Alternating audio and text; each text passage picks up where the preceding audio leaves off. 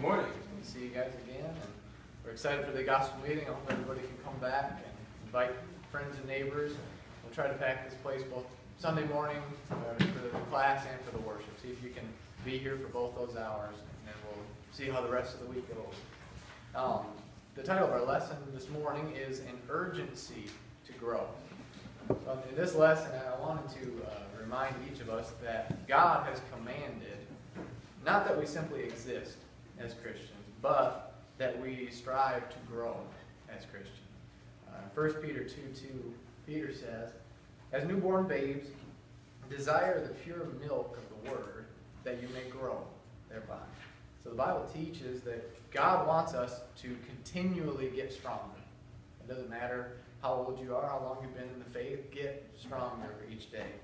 We must strive to become more spiritually mature and disciplined in the faith, uh, wiser in our knowledge of His Word and how we apply it, and we need to become more productive in our service for Him as the years go on. So, for an individual to grow spiritually or in a spiritual sense, uh, that means you're always seeking to get better than you were uh, the day before. It's the concept of improvement.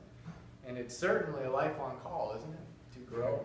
Uh, that from the moment you come up out of the waters of baptism, washed from your sins, having obeyed the gospel of Christ, your call is to grow. And our call is to grow as Christians and grow every day. In Scripture, uh, God compares uh, the life of a new Christian to the birth of a little baby. We see that a lot. Uh, in John chapter 3, Jesus talks about we, we must be born again. Right? Start afresh, start with new in order to see the kingdom of God. Uh, we must submit to the rebirth. So put the old man to death, become well, well, 2 Corinthians 5.17 calls us new creatures. We are, old things are passed, passed away, all things have become new. And when one is born again, as the Bible talks about, many places in Scripture refers to those individuals who have just submitted to the gospel and started their walk with Christ as babes in Christ or infants in the faith. So we understand that language that when you first start out, you're a babe, babe in Christ.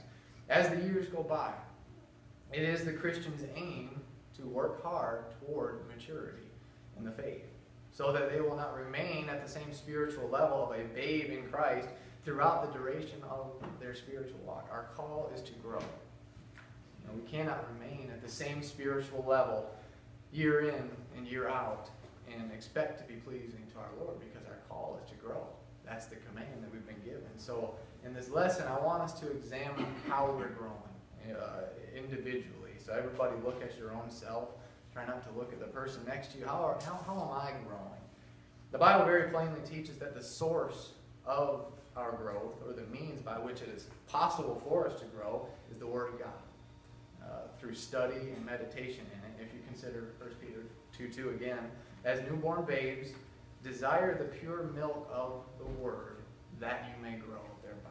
Without the Word, spiritual growth is impossible for the Christian. It won't happen. Like milk that is fed to a newborn baby, the Bible says that in the same way, the Word of God is the source which must be taken in continually uh, so that it can help us grow. It is spiritual food and drink, nourishment for our souls, which will lead to life. What did Jesus say in Matthew 4 and verse 4?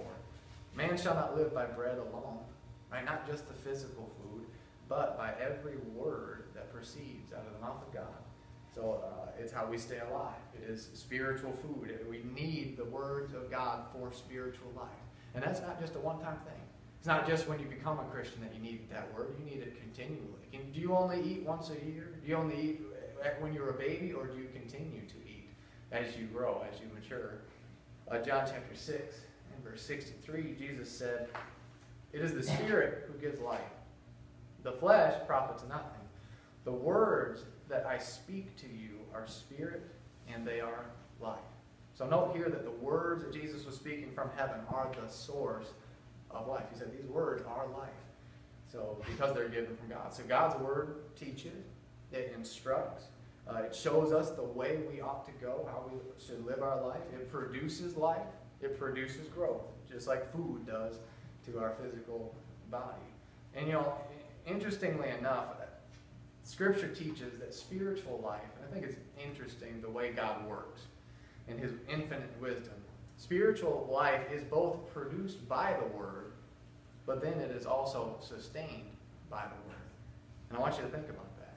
It is both produced by the Word, spiritual life, and it is then sustained. It is perpetuated by the Word. You know, when you were an alien sinner, you know, separated from the goodness of God because of your sin, how did God bring forth spiritual life in you? How did He do it?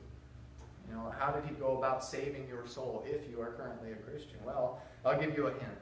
It was not some magical sprinkling of divine intervention like fairy dust, as some people seem to teach in, the religious world. But in James chapter 1, verse 18, James gives us some insight on how God did it. He tells, uh, James tells Christians the means by which God produces spiritual life to create a new child of Him.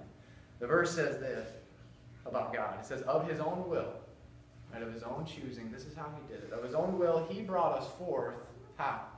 By the word of truth that we might be a kind of first fruits of his creatures. In the King James Version, this phrase here, uh, to bring forth, means, it means that he begat us by the word of truth. Now, what does that mean, Travis? Well, that phrase you see a bunch of times in the Old Testament, uh, in the genealogies of Scripture. You see phrases like, and Abraham begat Isaac. Isaac begat Jacob, and Jacob begat Joseph, and so on. So the concept that we see with this language is that when a father begets a son or brings forth a son, it is done how? Through the father's seed. Okay? And we understand how that works. The father's seed produces life inside the mother to create a new life, a little baby. But did you realize that according to this passage, this is the same type of method, process of a seed, by which God produces spiritual life in us and in sinners. It is through the implanting of his seed through which he begets a new child of him. The seed produces life. It creates a new babe in Christ. James chapter 1, verse 21 says, Receive with meekness the implanted word which is able to save your soul. Notice the implanting in somebody's heart. That's how, and what is it able to do? To save your souls. Uh, 1 Peter 1.23 talks about Christians having been born again. Not of corruptible seed, but incorruptible seed, through the word of God, which lives and abides forever. So what is the seed according to this? It is the Word of God that is planted in the heart of a sinner and it gives birth. So the Word of God, living and powerful, is the Father's seed by which He creates new life. And it penetrates deep into the heart of a sinner and it convicts the heart of its need to turn back to God. It is a convincing, a persuasion. In Acts chapter 2 and verse 37, shows us the result of God's word hitting the hearts on the day of Pentecost. We remember when Peter spoke those words, says, Now when he said this, they were cut to the heart. And the King James Version says pricked. They were pricked in their hearts. So the word of God, we know, cuts deep and hurts and it produces conviction. So those words make you realize your sin and produce guilt. That's, that's kind of the pricking aspect of it, that you were cut. And those words, they convince you of your lost condition and, and how you are in God's sight. And then those, wor- those same words persuade you that you need to turn back to God. So it's not some funny feeling that comes upon you, as some people are waiting for, but rather it's a realization or a learned process where you understand what God would have you to do to be saved. It's through knowledge, it's through learning. Ephesians chapter 3 and verse 4 says this about the written word. It says, by which when you read, you may understand a lot of people in the religious world who believe you can't understand the Word of God, that someone's got to explain it for you. you, can, you know, but Paul says, by which when you read, you may understand. So it's the message. The message is the power of God to draw men to himself. It's a persuasion. Romans 1.16, Paul says, For I am not ashamed of the gospel of Christ, for it is the power of God to salvation for everyone who believes, the Jew first and also to the Greek. So the power is in the message, the gospel. It's the words. Uh, it is what God has chosen to produce spiritual life in the centers of this world. So it, it involves convincing of a person's mind, a persuasion. Uh, 1 Corinthians chapter 1, verse 21 says, It pleased God through the foolishness of the message preached to save those who believe. How did he do it? Through the message. He convinced them. He showed them the way. So, you know, it is very interesting that spiritual life is both produced by the Word and then, as we're going to talk about in this lesson, it is sustained by the word. So those same words of life which lead a sinner to repent in the first place are the same words which lead a Christian to grow for the rest of their life. That's our theme in this lesson. Uh, those same words which God used to draw you in and convict you are the same words that God uses to keep you until the last day. And so we can't neglect the words of life. They were important when we first became Christians, but they're just as important after you become a Christian as you continue on. Man shall not live by bread alone, but by every word that proceeds out of the mouth. You have to keep eating. You have to keep eating and feeding on the spiritual food, or you will die spiritually. So it's a means to produce life and then sustain it. So point number one of the whole lesson, I wanted to make this truth very clear. Number one, the Word of God is how we grow as Christians. If we're going to start talking about how can we grow, how do we look at growth, we have to understand where it comes from. So do not try to set aside the Word of God and expect to grow because it's not going to happen. It does not happen because it is the spiritual life source. Sometimes Christians, you know, throw up their hands and say, Why am I not growing spiritually? I don't seem to be getting, getting any stronger in that sense. I, have attended services for years. I've, I've been around Christians, godly people. Why does my growth seem to just stay the same? It's stationary. Well, based on the truths that we've discussed, the source of a growth problem is pretty simple. You know, if a Christian is lacking growth in their spiritual life, it has something to do with this. There's a great certainty that they're not doing enough of this, and this, and this, and this, and this, right? It is a learning process.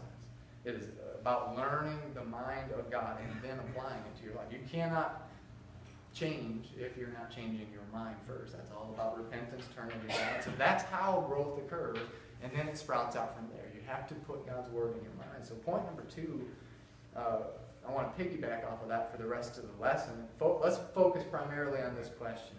Because of the word, in what areas do I need to grow? That's a good question. I want to give you six areas uh, for this section in which we are commanded to grow continually day in and day out, which are all, by the way, produced by the Word. So, number one, Christians must grow in faith. Certainly, we know that the Bible teaches that.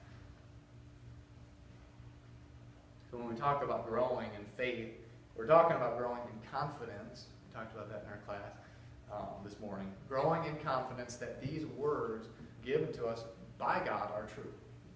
Now, are these words really from the God of heaven? Uh, does he really exist? Part of faith? Are these promises written in this book actually true? Are these teachings true? Are these teachings right? Should I actually go out and follow this book in my daily life? You know, as you grow in faith, that means you will grow in confidence in all of these questions that the answers are 100% absolutely yes. And you will become more certain than you were yesterday on a continual basis. You'll grow in that confidence. And you'll know these are the words of God. I know. I'm convinced of it. And as you read your Bible, you'll be convinced of that more and more every day. It convinces you there is a God in heaven. Right? Faith comes by hearing, hearing by the Word of God. I know these things. Uh, his promises are true. I see these promises written in Scripture, and He always fulfills His promises. His teachings are true.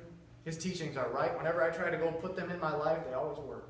They always work better than I even expected, and it proves itself. And yes, I should follow these words. But you know, don't be discouraged if your confidence gets weak sometimes, or perhaps at the very start you have a, a weaker confidence, you know, God wants you to learn His answers and be fully convinced, and He wants you to grow. So that confidence, though smaller at first, is meant to get stronger, meant to be firmer the more you learn, the more you age as a Christian. You know, think about this concept. In Luke 17 and verse 5, the apostles, even, even those who walked with Christ, made this statement to Jesus because they wanted to be even more fully convinced. What did they say? Lord, increase our faith. You know, increase it. We want more faith. What were they asking? Well, we know they were saying, Lord, speak more concerning these things so that we can be convinced even further. We want to know more. You know, give, give us more of the words from heaven that we might be further persuaded. Talk to us. Reason with us. Explain these things that we might understand and continue to give us more faith produced by the Word of God. And that's certainly what Jesus uh, did throughout his earthly ministry. He spoke the words of God and reasoned with God's words uh, to convince people and persuade them of heaven's truth. You know, in John 7, in John 7, verse 46, even those who were enemies of Jesus had to admit, no man ever spoke like this man. You know, many of them, they saw even the signs from heaven when he would do these miraculous feats in, in front of their eyes, and some of them rejected those truths, and, and, and they wouldn't follow him. But they had to admit, I've never seen somebody speak like this, with, the, with these type of words. Jesus reasoned with the Father's reasoning. That's what made him so special. It was the words of God. He persuaded with divine persuasion, and nobody could stump our Lord, right? And he convinced people using the Word of God. So that's how powerful it is. And so that's what's happening when we read the words of God and when we open up the written Word of God that He's given us in our book, the Bible. So they persuade us. Hebrews chapter 12 or 4 and verse 12 says, For the Word of God is living and powerful, and sharper than any two-edged sword, piercing even to the division of soul and spirit, and of the joints and marrow, and is a discerner of the thoughts and intents of the heart. So, you know, it's God's tool to convict. And that's not just at your conversion, but it is continually when you read the God as a Christian after 10 years, when you read the Word of God after 20 years, it still pricks you and pierces your heart just as it did when you first became a Christian. So Romans 10 17, as we quoted, says, So then faith comes by hearing, and hearing by the Word of God. So when you take the time to sit down with the Word of God, you let God's mind reason with your mind. You think about His thoughts and His persuasion. When you read heaven's arguments, the Bible says that produces confidence. So it will convince you of heaven's truth if you will continue to let it. But if you let it just sit on the table, and you don't pick it up and you don't read it, it's not going to do its job just sitting there We have to pick it up. We've got to read it. And it's such a sad thing when people of this world want to throw up their hands and say, you know, that book is just a bunch of garbage. You know, it's not true. God's not real. I, I don't have to listen to that. Those words are not from God, and yet they've never tried to open it up and look at the evidence for themselves. Mm. And that's, that's really unjust to make a statement like that without looking at the evidence. Really, that's like a judge in a courtroom making a verdict before seeing the evidence. Right? I don't want to see the evidence because it might convict me.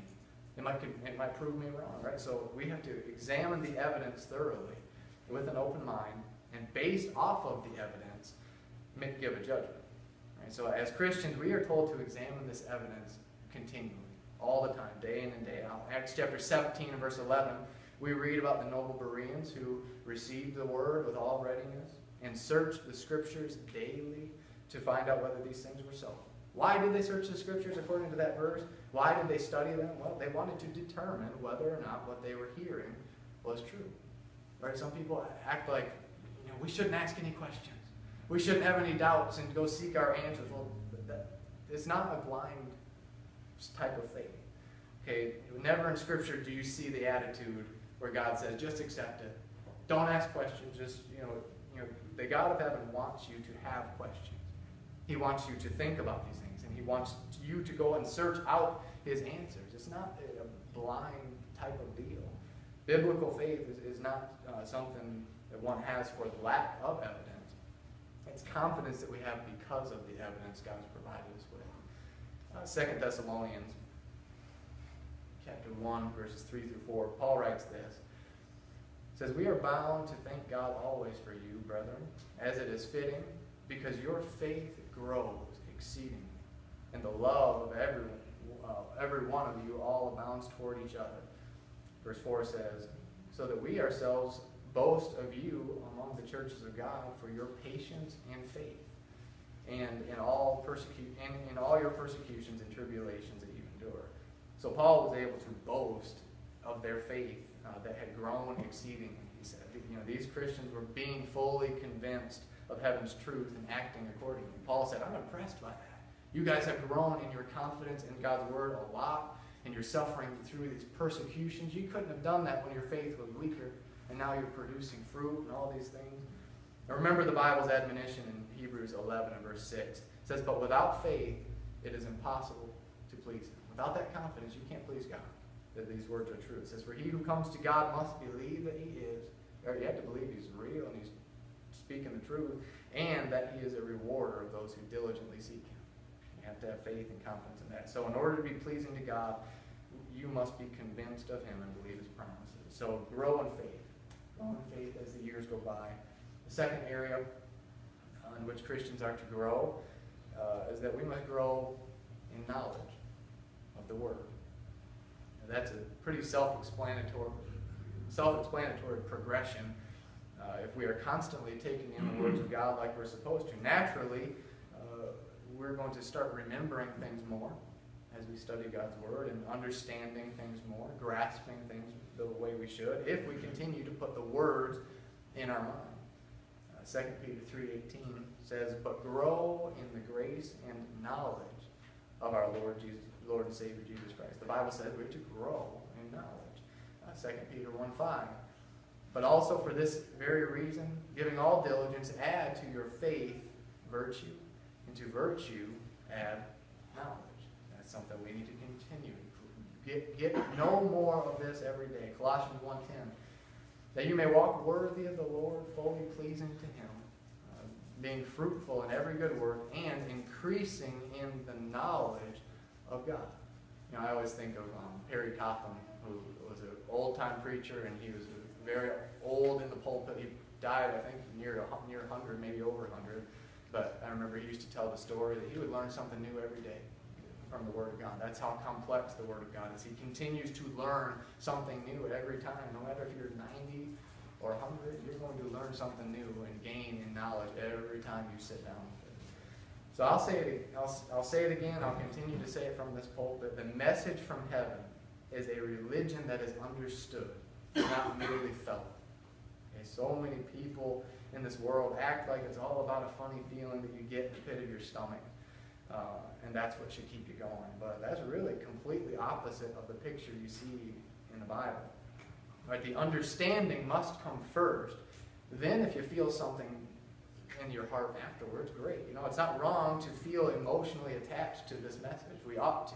Right? Our emotions must be involved, but many people try to put their feelings and their emotions into the driving seat of their religion, and they put knowledge in the back seat.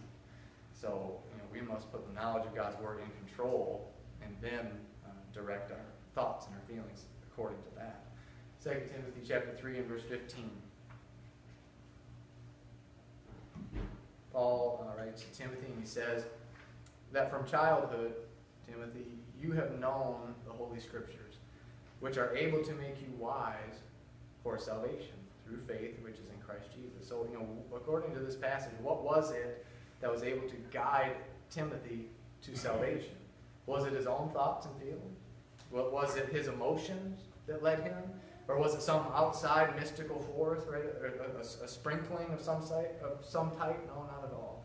It was the Holy Scriptures, which were able to make him wise unto salvation. But it's an understanding. It's a, it's a learned process. So the continual growth in knowledge is going to lead to life. So, you know, when you grow in knowledge of God's Word, think of some of the benefits of when we grow in our knowledge. Um, let me give you a few of these. You will be able to clearly identify sin in your life uh, so that you don't wander away from God and His Word. You're going to understand that God doesn't want me to do this, or God does want me to do that. When you study more and you understand what God wants of you, you can do better. So you can clearly identify sin. You will be able to identify false teaching uh, so that it won't lead you away from God. John 8 32, Jesus said, And you shall know the truth, and the truth shall make you free. You know, when you know the truth, you see a counterfeit when you when you, you understand when something's not the truth. Amen. Plain as day. You know, thirdly, uh, you will know exactly what is expected of you, how to be pleasing to God. 2 Peter 1 3 uh, tells us that uh, his divine power has given to us all things that pertain to life and godliness. He's given you every piece of information you need to know to be pleasing to him. And when you read those words, you can know that you're being pleasing to God because He's revealed them. 2 Timothy, 2 Timothy 2 5, that's why He tells us study to present yourself approved unto God, a worker who does not need to be ashamed, rightly dividing the word of truth. So that's what happens when you're gaining knowledge. How about this one? You will be able to give an answer for the truth hmm. uh, to those who ask. Uh, 1 Peter chapter 3 and verse 15 says that you must always be ready to give an answer to everyone who asks you a reason for the hope that is in you with meekness and fear. The more you study, the more you learn, the better you can give an answer to those who ask. and maybe, maybe lead to their salvation. Uh, the fifth one, uh, we will be able to handle the meat of the word as opposed to only the milk of the word. Some of those difficult truths that were so hard for you to grasp when you first became a Christian, one day, if we continue growing the way we're supposed to, we'll be able to understand these difficult concept. Hebrews chapter 5, verse 12 talks about uh, Christians who had not progressed in their knowledge of God's word the way that they should have. And he says, he says, he's pretty much scolding them at this point. He says, For though by this time you ought to be teachers, that's the point where you need to be at. You need someone again to teach you the first principles of the oracles of God. And you have come to need milk and not solid food. Know, by now you ought to be to the point, Christians, he's scolding these individuals, where you are teaching others. That's you've been in the faith long enough. But instead you need these simple truths to be explained to you once again. You know, you're not you've not been growing, is what Paul's saying and the Word. And what, does that tell us about how we need to be reaching out to the lost? The Bible says we need to get to a point in our knowledge that we ought to be teaching others.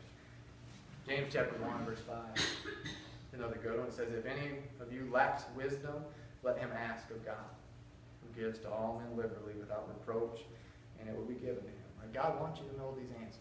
God wants you to grow in wisdom, wants you to grow in knowledge, so that you can find his answers. So number one, Christians must continue to grow in faith. Number two, Christians must continue to grow in knowledge. Number three, Christians must seek to grow in the fruit of the Spirit. so there's the seed concept again. Just like when uh, a physical seed is planted in the ground, out pops a tree and out pops the fruit, right? When the seed of God, which is the Word, is planted in our hearts, that seed sprouts up to produce uh, fruits or actions in our lives.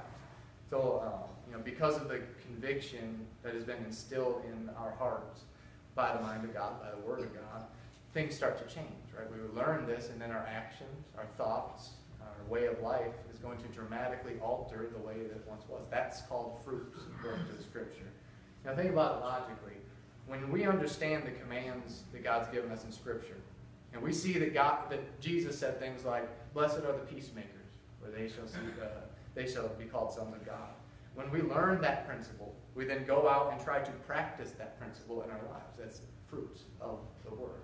And when Jesus says, love your enemies, uh, then as followers of Christ, we go out and we try to implement that principle into our lives. We try to love our enemies.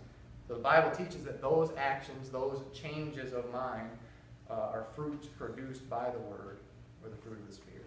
So you know, we, we go out and we produce fruit based on what God is telling us to do. Uh, let's go ahead and skip down John 15, 2. Listen to what he says about producing fruit. He says, Every branch in me that does not bear fruit, he takes away. We're not bearing fruit, he says he takes, uh, takes us away. And every branch that bears fruit, he prunes that it may bear more fruit. Right? Some, some of the, the uh, some of the, uh, what's the word I'm looking for? Discipline that God gives to his children is because he wants you to go out and bear more, more fruit for him. So we, we need to remember that there are spiritual repercussions if we're not producing fruit. So what are some of the fruits? Of course, Galatians 5, 22 and 23, Paul lists some of the fruits that are produced by the Word through the Spirit. So, but the fruit of the Spirit is, here's some of the things that are produced. Love, joy, peace, long-suffering, kindness, goodness, faithfulness, gentleness, self-control. Against such there is no law. Right? All of these godly characteristics will produce, will be produced uh, in the life of a Christian who feeds on the Word of God every day. You'll learn these things and start implementing them into your lives. So when we produce fruit, that means we are becoming more like God, more like the one who gave the seed.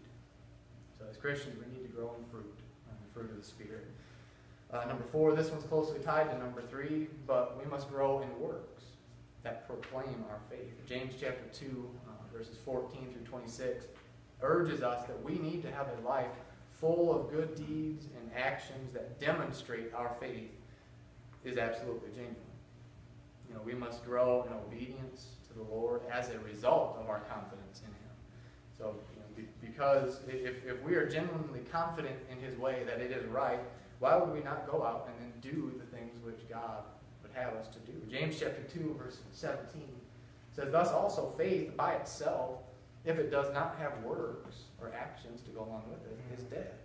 So, according to that passage, if we go about claiming to have great faith in the Lord, but we live a life devoid of actions, the Bible says we are spiritually dead if there's no fruit to show for it. So, the only logical result of having faith that is a saving faith is obedience that follows. You cannot separate the two, faith and obedience. You know, that's the pattern we see in Scripture. When Noah believed God and he trusted him, he went out and obeyed. He built the ark. When Abraham believed God and he heard his instructions, he went out and did what God told him to do. You know, James chapter 2, verse 21 says this Was not Abraham our father justified by works, his actions, when he offered Isaac, his son, on the altar? Do you see that faith was working together with his works, and by works faith was made perfect? You see how they work hand in hand? Verse 23 says, And the scripture was fulfilled, which says, Abraham believed God, and it was accounted to him for righteousness and he was called the friend of God. You see then that a man is justified by works and not by faith alone. And so works are a big part of the Christian life, unlike what many people teach nowadays. Uh, Matthew 5, 16, Jesus said, Let your light so shine before men that they may see your good works and glorify your Father which is in heaven. We need to be producing for his workmanship, uh, Ephesians 2. In Matthew 28, in verse 20, Jesus said to his followers, Observe all things that I have commanded you. Right? Remember to, to keep these things into practice. So these are some of the things we're going to be growing in, all of his commandments, not just some of them. So helping the needy, uh, caring for the poor, visiting the sick, tending the widows and orphans, teaching the lost, uh, fellowshipping the brethren, edifying the church, uh, worshiping God, right? The list is long of all the works that we can give our attention to in service to God. So, uh, number five, grow in gratitude. Uh, God has blessed us so much every day as Christians. Therefore, our lives ought to be an outpouring of thanksgiving the deeper and deeper we get into this.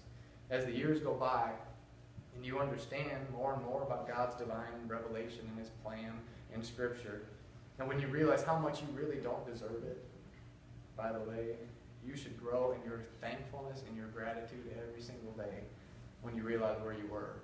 Um, Ephesians 5, verse 20 says, Giving thanks always for all things to, the, to God the Father in the name of our Lord Jesus Christ. And number six, lastly, we'll close with this one grow in your confidence in, in going home to heaven. Right? As we get closer to death, we ought to have the attitude and the confidence that Paul had. 2 Timothy chapter 4 verses 6 through 8. What did he say in that great message right before he was ready to be offered? He says, For I am now ready to be offered, and the time of my departure is at hand.